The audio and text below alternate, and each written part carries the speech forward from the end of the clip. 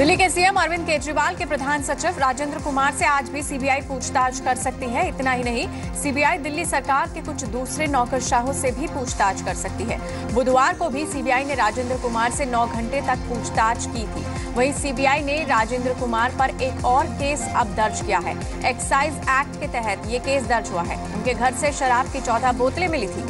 CBI की कार्रवाई में राजेंद्र कुमार के बैंक अकाउंट से 28 लाख रुपए मिले हैं। सीबीआई ने राजेंद्र कुमार को 120 बी यानी आपराधिक साजिश के तहत आरोपी बनाया है। राजेंद्र कुमार को भ्रष्टाचार विरोधी कानून के तहत भी आरोपी बनाया गया। है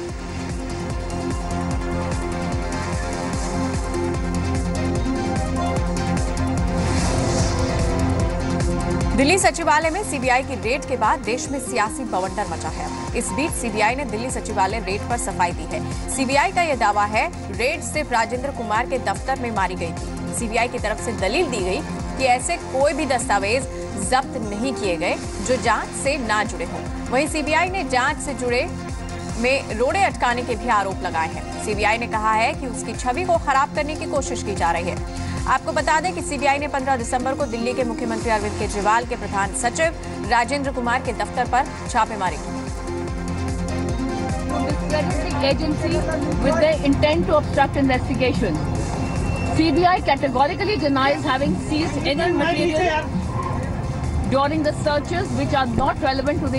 की CBI seizures during the searches at all 14 places were in the presence of independent witnesses as per procedure laid down by law. CBI is committed to carry out its work in an absolutely free, fair and professional manner. तो वहीं संसद में बुधवार को भी हंगामेदार तस्वीरें देखने को मिली। छापेमारी की कार्रवाई को लेकर आम आदमी पार्टी ने लोकसभा में और तृणमूल कांग्रेस ने राज्यसभा में जमकर हंगामा किया। आम आदमी पार्टी ने लोकसभा में हंगामा किया। पार्टी सांसद भगवंत मान नारेबाजी करते करते अध्यक्ष की कुर्सी के पास पहुँच गए। तभी एक अजीब वाक्य भी देखने को मिला। नारेबाजी कर रहे भगवंत मान का जब गला सूख गया तो सदन में बैठे पीएम मोदी की नज़र भगवंत मान पर पड़ी। पीएम ने भगवंत मान को अपनी कुर्सी के पास बुलाया और फिर उन्हें पीने के लिए पानी दिया। वहीं राज्यसभा में इस मुद्दे पर मोर्चा तृणमूल कांग्रेस ने संभाला। विपक्ष ने के इस रवैये पर बीजेपी ने सवाल उठाया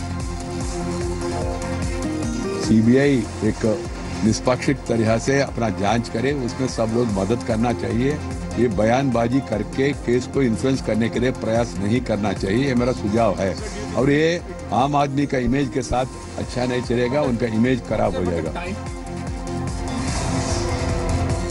केजरीवाल ने उन फाइलों की लिस्ट जारी की जिन्हें सीबीआई अपने साथ ले गई थी। केजरीवाल के मुताबिक इन फाइलों का राजेंद्र कुमार पर लगे आरोपों से लेना देना नहीं है। इसके साथ ही केजरीवाल ने एक बार फिर केंद्रीय वित्त मंत्री अरुण जेटली पर हमला बोला। केजरीवाल ने ट्वीट किया है कि छापेमारी के दौरान सीबीआई अफसर डीडीसीए से जुड़ी फाइल्स देखते रहे। केजरीवाल का कहना है कि सीबीआई अफसर इन फाइलों को अपने साथ ले जाना चाहते थे, लेकिन उनके ट्वीट के बाद अफसर इन फाइलों को लेकर नहीं गए। ये साफ़ नहीं है कि सीबीआई अफसर इन फाइल्स की कॉपी लेकर गए या नहीं।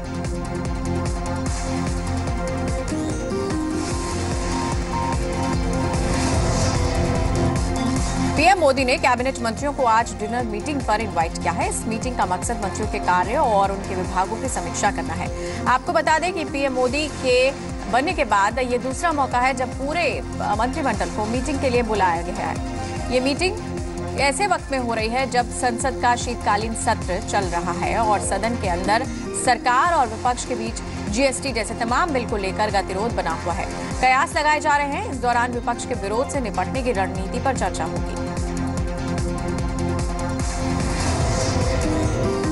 मोदी सरकार ने संतोषजनक काम न कर पाने पर अट्ठावन अफसरों पर सख्त कार्रवाई की है। केंद्रीय कार्मिक और लोक शिकायत मामलों के राज्य मंत्री जितेंद्र सिंह ने संसद में बताया कि मई 2014 से अब तक सेंट्रल सिविल सर्विस के तेरह अफसरों को बर्खास्त किया गया है या पद से हटा दिया गया है, जबकि 45 अधिकारियों की पेंशन काटी गई है। मोदी सरकार ने शुरू से ही नौकरशाहों को जवाबदेही की बात कही थी। केंद्र सरकार ने सभी मंत्रालयों में अफसरों के कामकाज के आकलन का आदेश दिया था।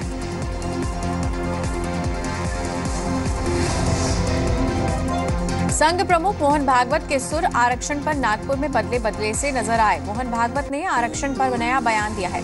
भागवत ने कहा कि जब तक समाज में भेदभाव है, तब तक समाज में आरक्षण रहेगा। भागवत ने कहा कि समाज से तभी आरक्षण को हटाया जा सकता है जब खुद आरक्षण पा रहे लोग आरक्षण को खत्म करने की बात करें। आपको बता दें कि बिहार चुनाव से ठीक पहले मोहन भागवत ने आरक्षण को खत्म करने की वकालत की थी, जिस पर खासा बवाल हुआ। सामाजिक भेदभाव जब तक है, तब तक सामाजिक आरक्षण चलेगा। ये समझ के कहना और सामाजिक भेदभाव समाप्त तो हुआ, अब आरक्षण निकालो, ये उनको कहना पड़ेगा जो सामाजिक भेदभाव के शिकार है, तब हो दिल्ली के जंतर मंतर पर कांग्रेस उपाध्यक्ष राहुल गांधी को लोगों के विरोध का सामना करना पड़ा। राहुल प्रदर्शन कर रहे चाय बागानों के मजदूरों से मिलने पहुँचे थे, लेकिन उन्हीं के खिलाफ लोगों ने नारेबाजी शुरू कर दी। केंद्रीय मंत्री रविशंकर प्रसाद ने भी सोनिया और राहुल पर संसद को नहीं चलने देने का आरोप लगाया है। 26 नवंबर से शुरू हुए संसद के शीतकालीन सत्र में अब तक कांग्रेस के हंगामे की वजह से कोई कार्य नहीं हुआ। सत्र 23 दिसंबर को खत्म होना है, जबकि अभी जीएसटी समेत तमाम कई अहम बिल अटके हुए हैं। हम विरोध की बात समझते हैं, लेकिन मैं राहुल गांधी से सवाल पूछूँगा और सोनिया गांधी से, क्या उन्होंने तय कर लिया है कि संसद नहीं चलने देंगे? कभी कहते हैं कि हमारे खिलाफ वेंडेटा हो रहा है। मालूम हुआ वो गलत साबित हुआ। फिर वो बदल लेते हैं। फिर कभी आते हैं कि अरुणाचल की सरकार को गिराया जा रहा है। फिर आरएसएस के ऊपर झूठे आरोप लगाते हैं कि बारापेटा के शास्त्रा में उनको घुसने नहीं दिया गया संघ के द्वारा। जबकि वहाँ के प्रमुख स्वामी ने कहा है कि हम तो खड़े थे स्वागत करने के लिए। तो झूठ पर संसद नहीं चलने जा रही है। सोनिया जी और राहुल गांधी जी, देश को आप कोई जवाब देंगे? या हम ये मान के चले कि चूँकि आप हार गए हैं, इसलिए इस सरकार को काम करने में अवरोध पैदा करेंगे। ये तय करना पड़ेगा। सरकार ने लगातार छठी बार पेट्रोल और डीजल पर एक्साइज ड्यूटी बढ़ा दी है। पेट्रोल पर 30 पैसे और डीजल पर एक रूपए सत्रह पैसे प्रति लीटर की बढ़ोतरी की गई है, जिसके बाद अब पेट्रोल पर कुल एक्साइज ड्यूटी उन्नीस दशमलव नब्बे रूपए और डीजल पर ग्यारह रूपए तिरासी पैसे हो गई है। यही वजह है कि अंतर्राष्ट्रीय बाज़ार में कच्चे तेल के दामों में भारी कमी के बावजूद पेट्रोल की कीमतों में सिर्फ़ पचास पैसे की कटौती की गई थी। सरकार को अब एक्साइज ड्यूटी की बढ़ोतरी से ढाई हज़ार रुपए की अतिरिक्त कमाई होगी।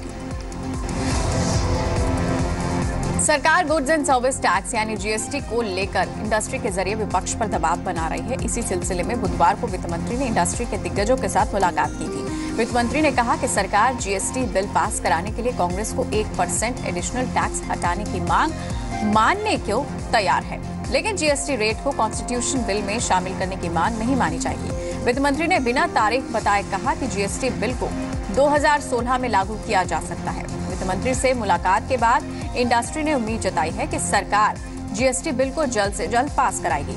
इंडस्ट्री का कहना है कि सभी राजनीतिक दलों को राजनीति से ऊपर उठकर देश हित में सोचना चाहिए और जीएसटी का समर्थन करना चाहिए। Over the next few month or let us say in the coming year we are able to implement the goods and services tax hopefully as I have announced with the coming budget, we are able to rationalize, start the process of rationalizing our direct taxes. I have already committed to the fact that we will slowly start bringing them the, the higher slab down as far as corporate tax is concerned. Our emphasis on increased spending on infrastructure continues to increase.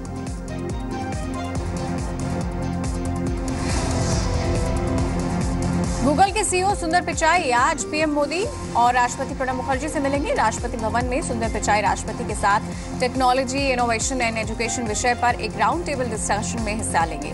सुंदर दो दिन की भारत यात्रा पर हैं। Google के CEO Sundar Pichai आज ही दिल्ली के श्रीराम कॉलेज ऑफ़ कॉमर्स में छात्रों को संबोधित करेंगे। सुबह 11 बजे होने वाले सेशन को आज सुंदर नाम दिया गया है। सेशन के दौरान सुंदर पिचाई छात्रों से अपने अनुभव साझा करेंगे और उनके सवालों का जवाब देंगे।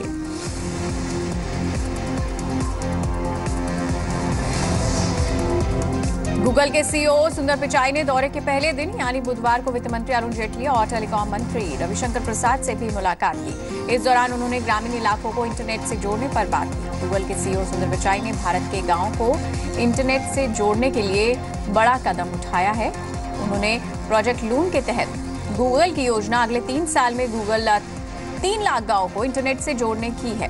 इसके लिए गूगल बीएसएनएल के साथ टाई अप करेगा।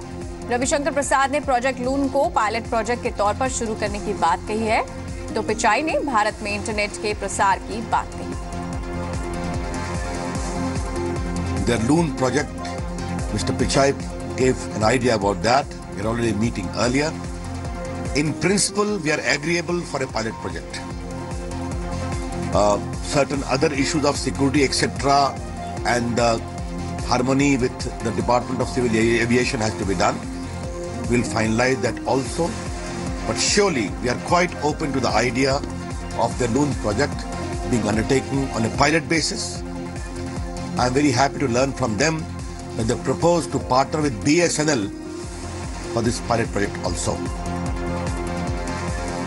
excited uh, to partner uh, with the minister. Uh, he talked about rural BPOs and how we can work together. So we're very excited to partner with Internet Sati along with the CSCs. And uh, as the minister indicated, we are very, very focused on bringing uh, Google's products to many more Indian languages. And we are focused on the top 10 Indic languages so that we can reach a billion users. Swiss बैंकों ने 60 साल पुराने dormant, यानी unclaim खातों की सूची जारी कर दी है। इस लिस्ट में 2600 खाते शामिल हैं और इनमें करीब 300 करोड़ रुपए जमा है। स्विस बैंकों ने 80 सेफ़ डिपॉजिट बॉक्स भी जारी किए हैं, लेकिन बॉक्स में क्या है, इसके बारे में कोई जानकारी नहीं है। 2600 डॉर्मेंट खातों में कम से कम चार भारतीयों के भी खाते हैं। स्विस सरकार इन खाता धारकों के वारिसों को रकम पर क्लेम करने का आखिरी मौका देगी। स्विस बैंकों की गोपनीयता दुनिया भर के अमीरों को अपनी ओर आकर्षित करती रही है, जो अपने पैसों को दुनिया की नज़रों से बचाना चाहते हैं। बैंकों पर भ्रष्टाचार से कमाए पैसों को भी छुपाने का आरोप लगते रहे हैं। दिल्ली में बढ़ते एयर पॉल्यूशन को काबू करने के लिए सुप्रीम कोर्ट ने एक बड़ा फैसला सुनाया है। दिल्ली एनसीआर में बुधवार से 2000 सीसी से ज़्यादा इंजन की कोई गाड़ी नहीं बिकेगी। ये बैन तीन महीने के लिए लगाया गया है। इस पाबंदी के साथ ही ट्रकों पर लगने वाले पोल्यूशन सेस भी सात सौ रुपए से बढ़कर चौदह सौ रुपए कर दिया गया है। सुप्रीम कोर्ट के मुताबिक डीजल गाड़ियों के बैन से आम आदमी पर ज़्यादा असर नहीं होगा। इसके साथ ही सुप्रीम कोर्ट में दिल्ली में चलने वाली टैक्सियों पर भी बड़ा फैसला सुना है। कोर्ट ने कहा कि दिल्ली में चलने वाली सभी टैक्सीज और को सीएनजी में बदला जाए।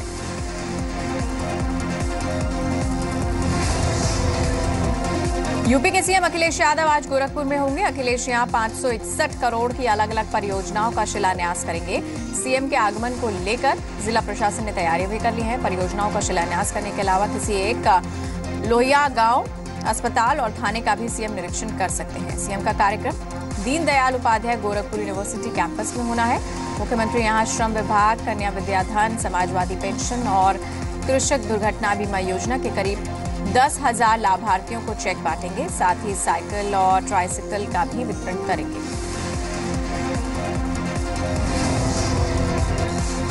Retired justice Virendra Singh UP के नए लोकायुक्त बनाए गए हैं। डेडलाइन तय करने के बाद भी आखिरी दिन तक यूपी में लोकायुक्त की नियुक्ति नहीं होने से नाराज़ सुप्रीम कोर्ट ने इलाहाबाद हाईकोर्ट के रिटायर्ड जस्टिस वीरेंद्र सिंह को यूपी का नया लोकायुक्त नियुक्त कर दिया है।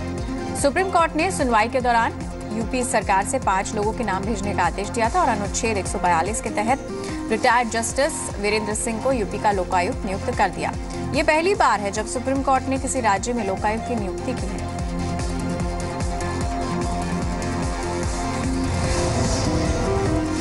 सुप्रीम कोर्ट की तरफ़ से नियुक्ति के बाद जस्टिस वीरेंद्र सिंह ने कहा कि लोकायुक्त के तौर पर उनकी प्राथमिकता भ्रष्टाचार के खिलाफ शिकायतों पर कार्रवाई करने की होगी।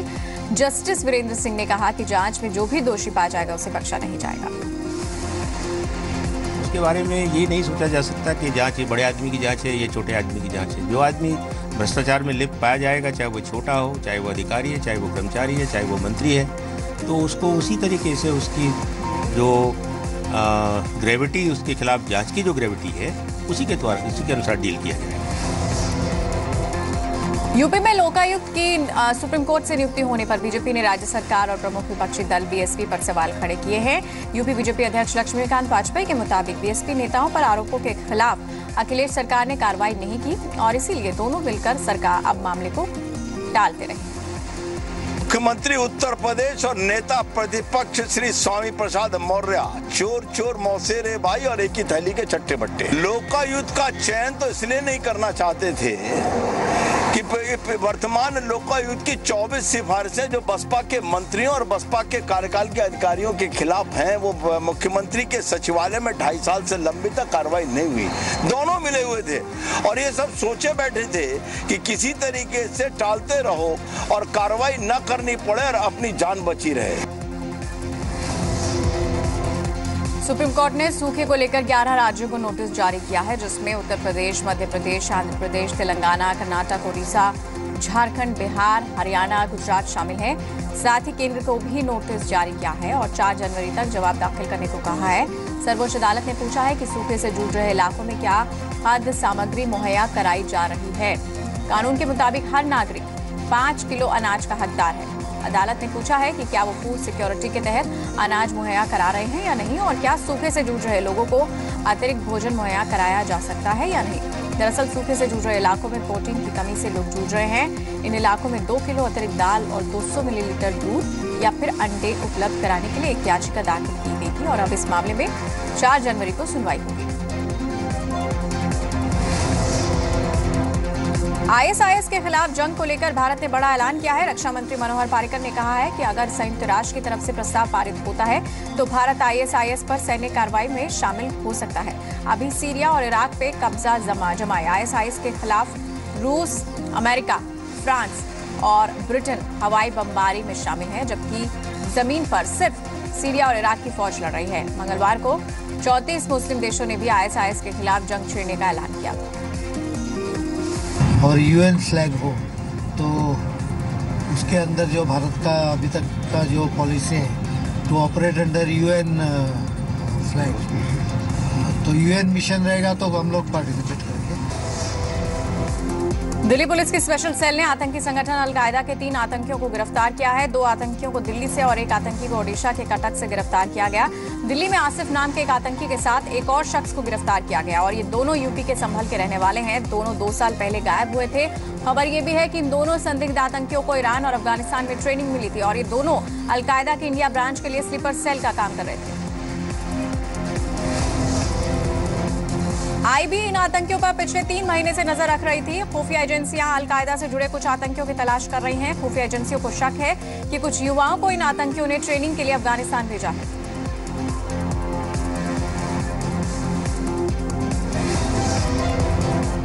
यूपी सरकार जेलों में बंद ऐसे कैदियों को रिहा कराने का मन पर आ रही है, जो बुज़ुर्ग हैं या फिर मामूली जुर्माना ना भर पाने की वजह से सजा पूरी होने के बाद भी जेलों में बंद है।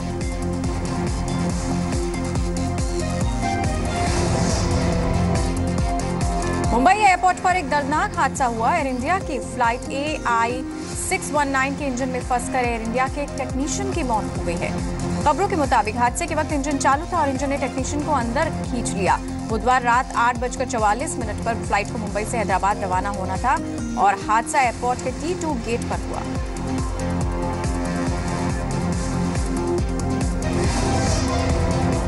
गाजियाबाद के संजय नगर में प्रॉपर्टी डीलर की गोली मारकर हत्या कर दी गई है। कबिनार इलाके में कमित शर्मा नाम का शख्स मेरठ से किसी रिश्तेदार के यहाँ आया था।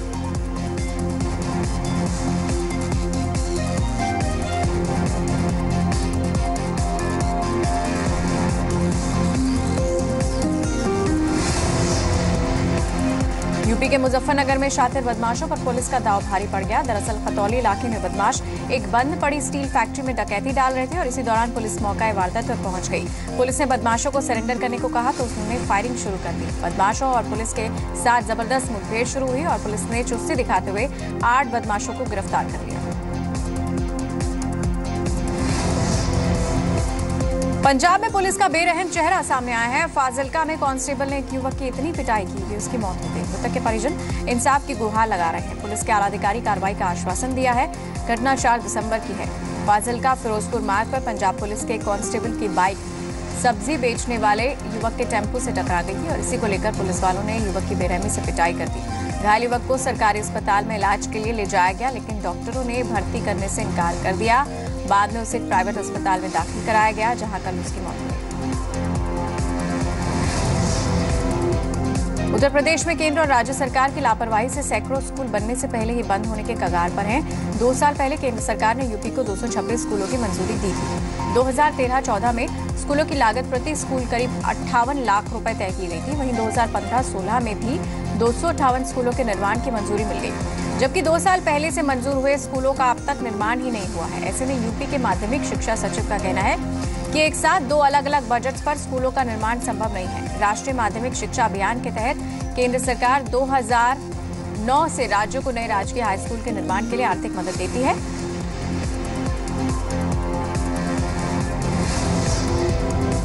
हरिद्वार में गंगा आरती अब नौ जगहों पर होगी। गंगा सभा ने अर्धकुंभ के मद्देनजर इसका फैसला किया है। अभी तक सिर्फ़ चार जगहों पर ही गंगा आरती की जाती थी, जिससे भीड़ बढ़ रही थी, और अब गंगा सभा का तर्क है कि अगर नौ जगहों पर गंगा आरती का आयोजन हुआ तो भीड़ में कमी आई